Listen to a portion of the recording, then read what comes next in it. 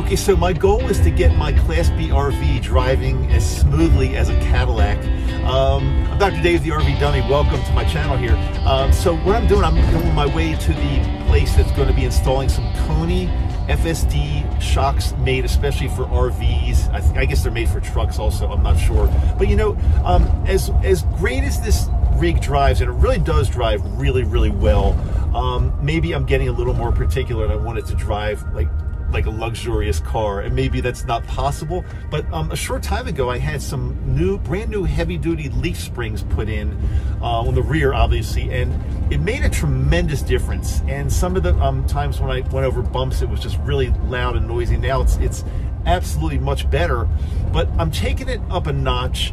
My friend Mark um, who is an RV expert has suggested that I try these these Koni uh, FSD shocks and um, I ordered them from Amazon. Four shocks. They're not cheap, but I'm on my way to the um, suspension shop, and they're going to install them for me. And so that's why I'm doing this video now, showing you that it's a little bit. I don't know if you can hear the noise in the background, but it's a tiny bit of a rough ride. I'm, I'm on a road that has some imperfections and potholes and stuff like that. So I'm going to be testing and I'm be driving on the same road on the way back, on the way home to see um, what the difference is. So you're seeing it now. We're going over some bumps. It's a little, little, little shaky. Not bad. It's certainly acceptable. And if I didn't do anything at all to the, this rig, it would be totally fine. But I think I've just got this idea that I want to have it running much, much smoother even. So I'm on my way to the place right now. I'm to give that to them. They're to have it ready today. On the way back, I'm to go ahead and, if I can get around this truck, I'm to go ahead and do another video and we will totally compare the difference. Okay, so I'm back with you. Yes, got it done today. Koni's RV shocks on this baby right here. Front and rear all around.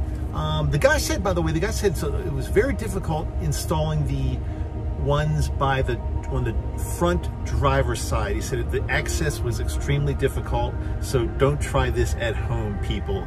don't try it at home. Now I'm ready to go ahead, and I'm going to go out on the road. And gonna, by the way, um, this is the same day, even though I shaved my beard and I changed my t-shirt.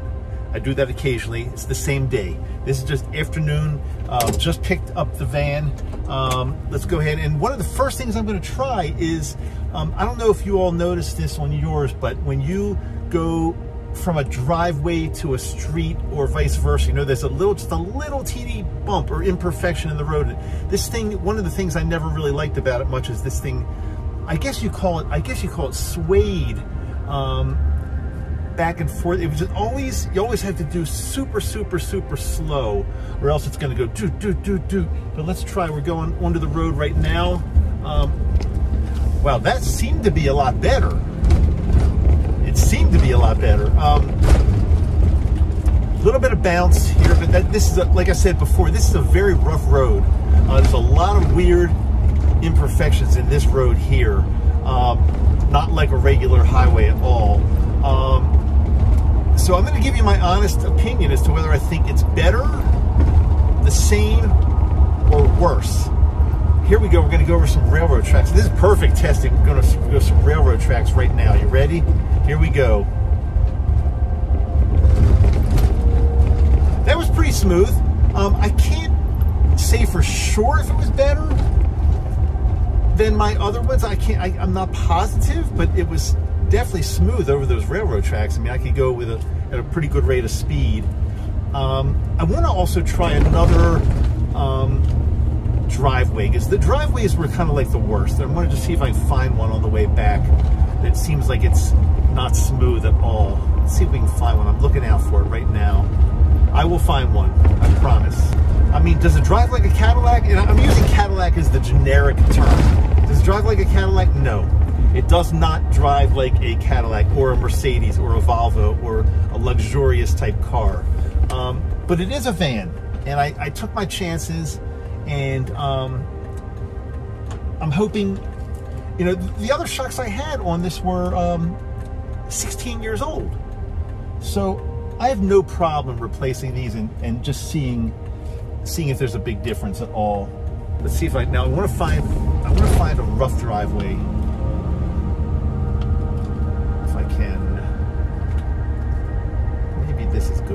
gonna make a I'm gonna make a right into this. So hang on. In the past, something like this would definitely be very awkward and difficult. Let's try this now.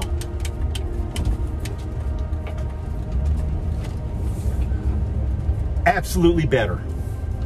No question that was better. So you know what I mean now. You go into a um, driveway and there's like an up, you know, you got to go, and um, in the past it would it would just it would sway back and forth. I, I was in somebody's pickup truck the other day and he had horrible sway, and I hope I'm using the correct word, but um, going over like a, a curb type thing. This was that was absolutely better there. A lot more confidence going up and now let's go down and see if this is any better now.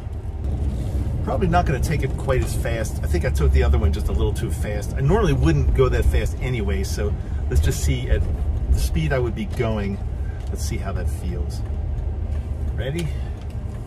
Wait till the traffic clears. That's always a good idea. Here we go.